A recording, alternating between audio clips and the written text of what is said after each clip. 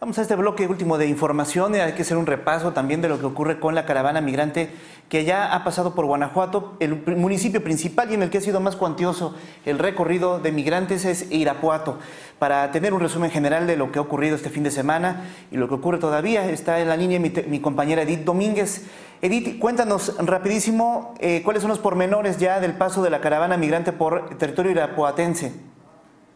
Bueno, este, son alrededor de 2.500 eh, migrantes, Javier, los que arribaron desde el viernes por la tarde, sábado y, durante el día de ayer domingo pernotaron estas horas y alrededor de las 5 de la mañana de este día lunes comenzaron a salir, a las 5.10 comenzaron a salir los primeros migrantes que se dirigen rumbo a Guadalajara.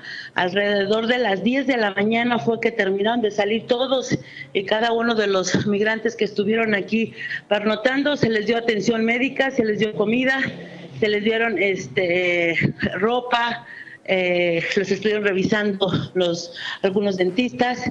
Y bueno este no hubo una al menos aquí el reporte que hay hasta este momento es que no hubo ningún incidente todos estuvieron esperrotando durante algunas horas y bueno, ya alrededor de la, de la mañana de este día comenzaron a salir.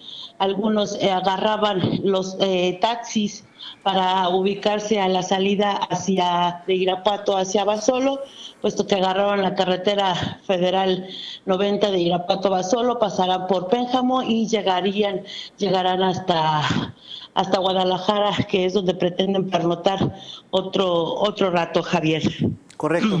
Eh, hasta el momento, digo, creo que es el municipio que ha tenido mayor afluencia, Edith, y si me apuras 2.500 en un fin de semana, habla de que la proporción del contingente del que se hablaba de 7.000 eh, migrantes aproximadamente que se han ido repartiendo en diferentes zonas, pues habla realmente de una mayoría, me atrevería a decirlo, en, este, en esta zona. Entiendo que la ruta que ellos están realizando es ya no seguir hacia León, sino hacer un corte para eh, llegar a Jalisco por el, eh, vamos, esta franja con Michoacán hacia Jalisco, hacia Guadalajara.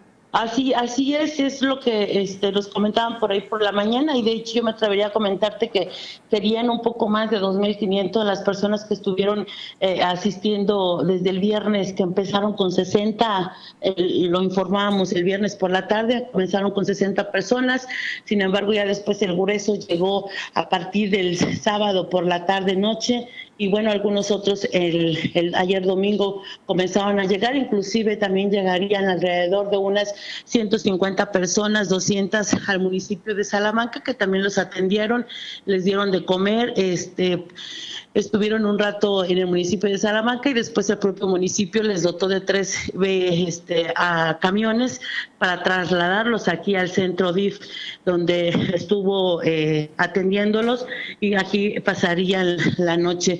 Comentarte, Javier, que el municipio lo que hizo fue eh, prestar las instalaciones del centro DIF, este, que tiene pues, unas bodegas enormes y salones enormes, que es donde estuvieron durmiendo los, la mayoría de las, de las personas este, centroamericanos que estuvieron pasando por el municipio de Irapuato y bueno, también algunas, alguna gente estuvieron llevando comida, estuvieron llevando este, ropa y algunas asociaciones como la católica que es de Caritas también estuvo el grueso de, comida y atención, estuvo dando toda la gente que integra este, eh, e, e, esta asociación de Caritas, Javier. Correcto. Pues bueno, importante, hasta el momento sin incidencia nos comentabas, ¿verdad? Hasta momentos sin incidencia, solamente, bueno, después de que se retiran, pues hay alguna eh, basura que, que, se deja y demás, este, pero pues ya los servicios públicos del municipio se hizo cargo. De acuerdo. Muchas gracias, Edith. Seguiremos pendientes. Gracias, Javier. Muy buenas tardes. Buenas tardes, Edith Domínguez con